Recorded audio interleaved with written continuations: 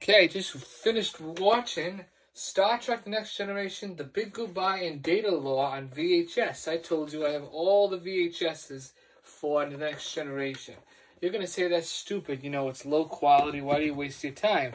I do it because I'm a fan of Star Trek and I'm a fan of all formats.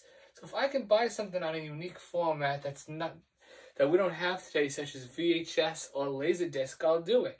I did it with the X Files. I'd like to have all think the sixth season X Files is on a laser disc. I think I can get the first four because I already have the fourth one, but that's a different story. This episode, um, I just like to say basically the big goodbye was about the Enterprise must pass through the quadrant Corona Fall, which is inhabited by an insect like like race, and then they go into the holodeck, which is pretty cool. And Data Lore is about Data mean his evil son brother or whatever you want to call them.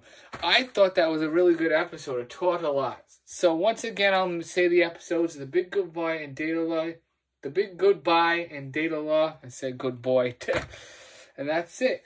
If you want to watch this, um, you can watch it on several. You can go stream it now: DVD, Blu-ray, VHS, Laserdisc. This is on nearly every format, and there's probably some episodes on Betamax at one point. I would you would think because it was in the 80s, mid 80s this, this came out. I think Betamax didn't fail yet, so there's probably Betamax episodes too.